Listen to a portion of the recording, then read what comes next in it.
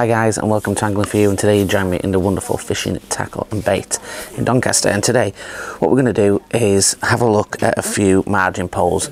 Now it's coming into that season and there's new poles out uh, I haven't got every pole um, that's out there but there's new poles and there's older poles that are still brand new but the older versions that you can get a really good deal on. So I want to tell you, uh, show you a few, show you a few, and the different price ranges, different lengths, different packages. But we'll go into that, and I think it's important that um, you're objective and not always the new one's the best one. If you most people that get a margin pole are going to have it as a, as a second pole to to use down the edge or they're just going to use it solely because they don't want to hold a longer length. So it's really important that you make the right decision and there's lots um, ranging from around 200 quid um, that I've got here up up to about 450 so it, it, again it depends uh, which one you want to do.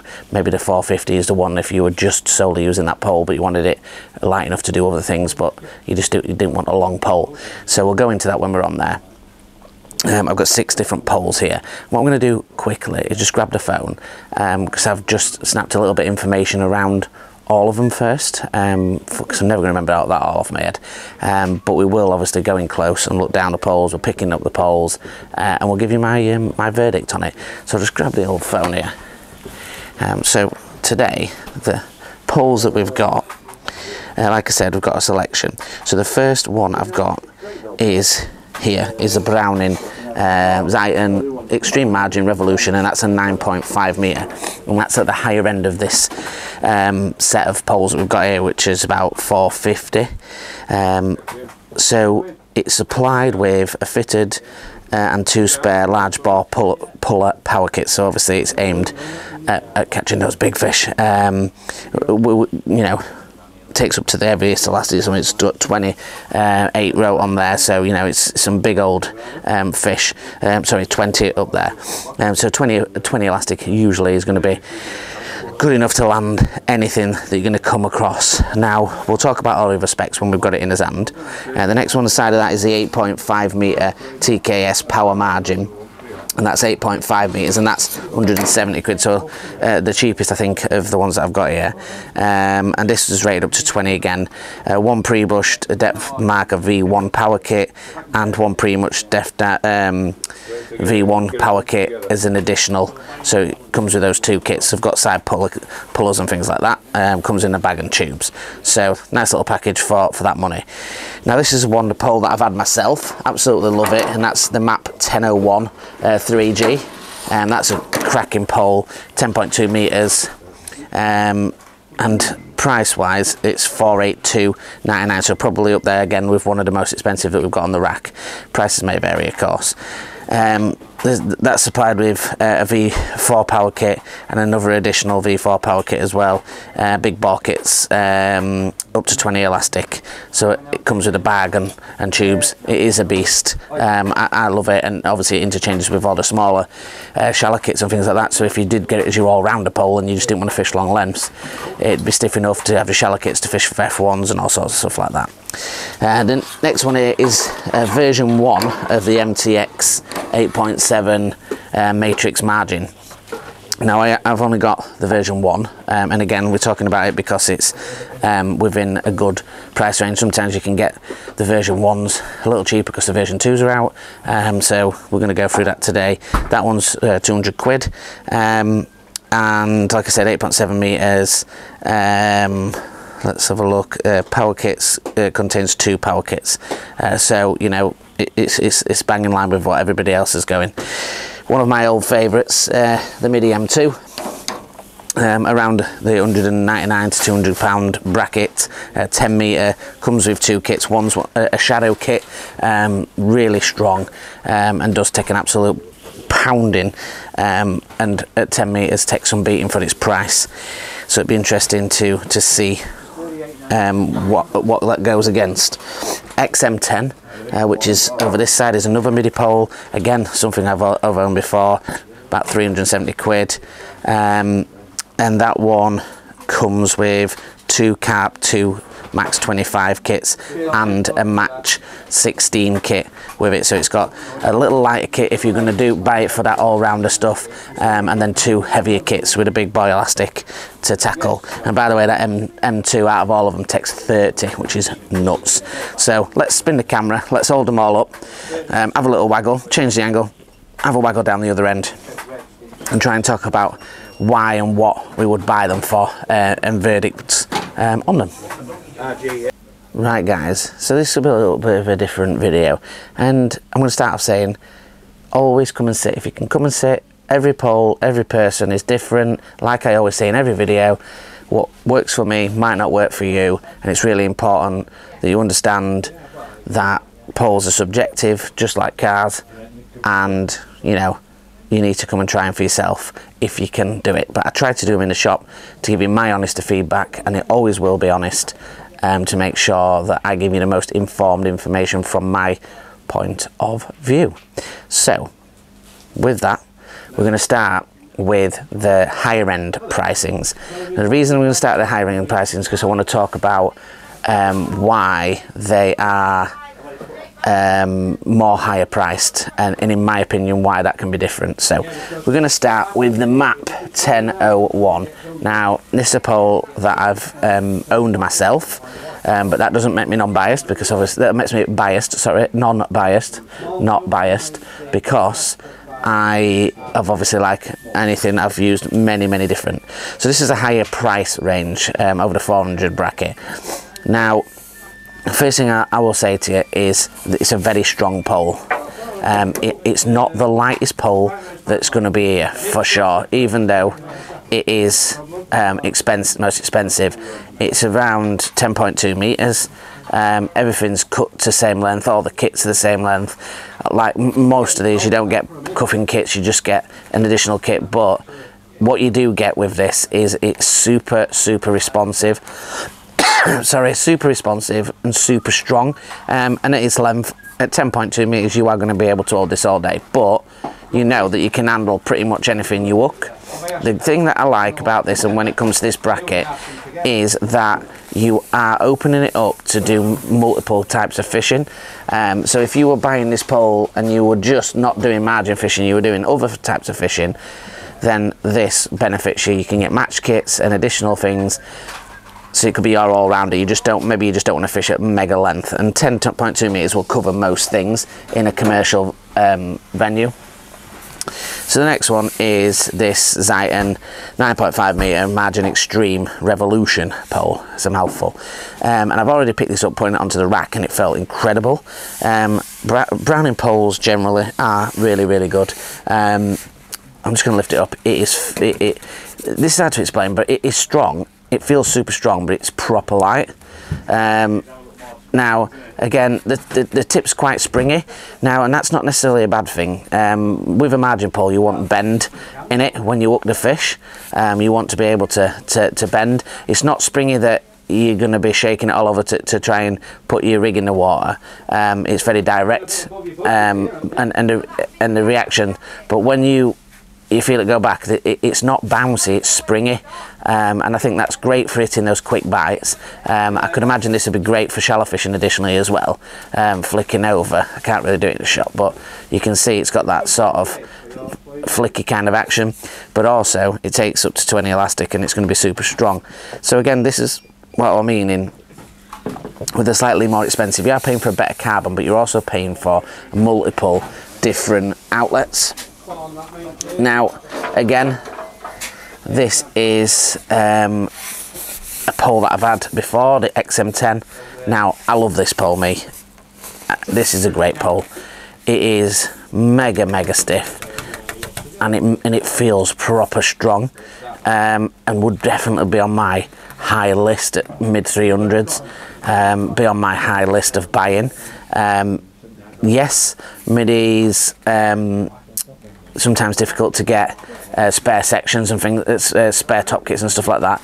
But you know, so's the world at the moment. So for me, this is definitely a contender because it sits in a balance of not the mega expensive but not also the cheapest that we've got here. And it's it's so responsive. I love the kits because they're short.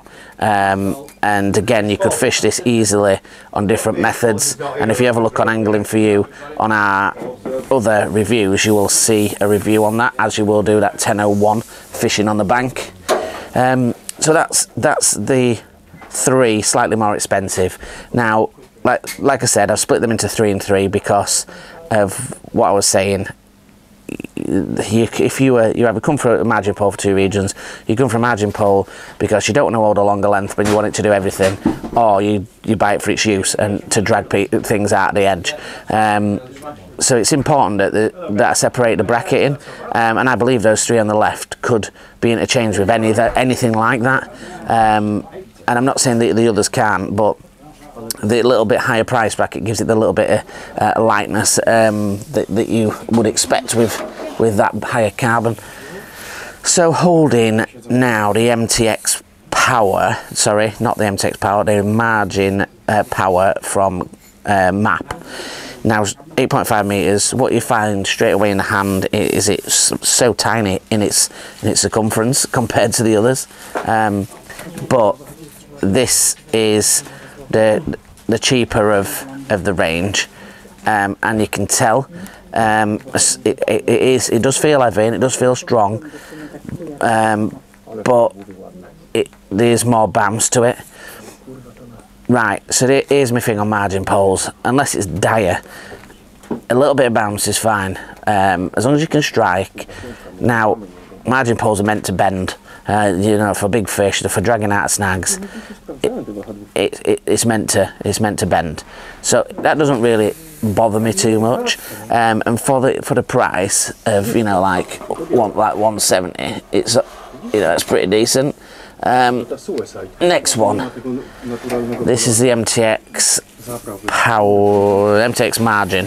Um, now, this is version one. The new one is out. When I get uh, my hands on that, I'll get my hands on it. Um, and I know that this has been a big seller uh, for Matrix. Um, a couple of hundred quid, and it feel it feels great. It's really stiff. The, the, the, the reaction is great. Like you're tapping it, and you know the recovery is really good on it. It's not light, but it's not heavy. It sort of feels strong in the hand. Um, that's actually quite quite decent, if I'm honest. Um, I'd like to see it on the bank. Um, it's not. I, I, wouldn't say it were too stiff that you can't bend, but at, at a couple of hundred quid, this could quite easily be um, a contender for some of the more expensive poles for for you know using as an everyday. The only downside is is obviously the length. If you want a little bit longer length, this is. Let's have a look. What's length on this bad boy? Yeah, uh, 8.7 meters. Sorry. So this one's a little bit shorter, but feels does feel great. So if you're wanting obviously 10 meters and you want it for an all-rounder, then it, you need something a little bit longer. Um, but we are going to review um, the MTX one, uh, I believe. So we can see, you know, where that where that takes us. Now, the M2 um, is something that I, I've availed, I've used, and I mean, I don't think there's many poles better for 200 quid for what this does at 10.2 meters. Uh, as you can see, it's stiff, the bounce, the reaction is good. I've tested it on big fish, I know it can handle big fish. But the other thing is, um, it takes up to 30 elastic so you can drag to munters in. Now this does not, this pole does not um, interchange with their their main range of poles. Um, it, it's it's not the same top kit so I don't know if you could get a match kit for it. I don't know that. So that that that's the only thing to think about. I, I don't know off the top of my head if you can. Um, but let's flick back onto main camera um, and and have a little bit of a chat about it. Right guys so every single pole I picked up there was pretty decent um, the only one that I felt I'd, I'd, I'd sort of discard would be the map margin, um, the power margin, 8.5. Although I know you can get additional kits for it and things like that. 170 quid, it's not a million miles away from paying for an MTX uh, margin or an M2 um, and my money would be on either of those.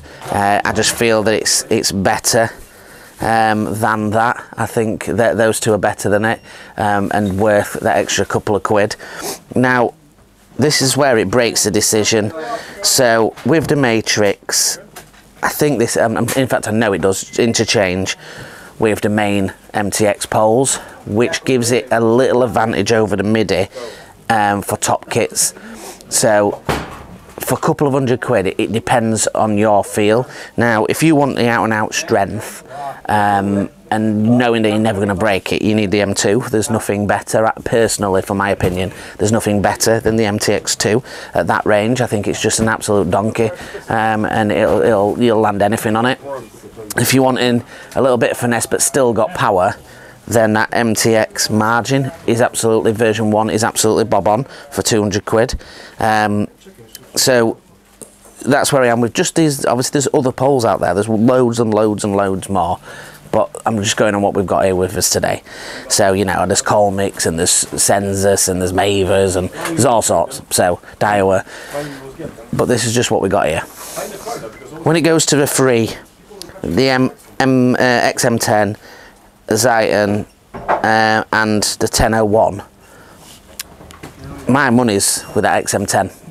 Um, I, I, know that Middy's got a great range of top kits to interchange with this one, with it being Reactacore, which won't change with the M2. But if you were wanting it for fishing up to 10 meters and additionally uh, wanting to catch big fish, you could interchange the top kits with it and, and do all of that. Um, I had that against with my Sen65 and all my top kits interchanged changed with it.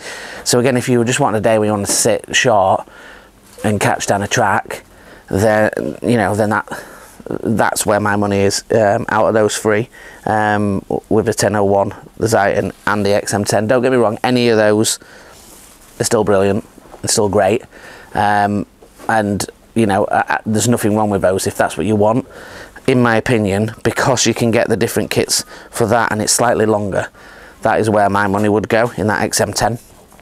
So, just in uh, conclusion, in a higher price bracket for an everything involved, if, if we're in a higher, slightly bracket for the little bit lighter and, and, and does everything, XM10 for me out of these is where I'm going to go.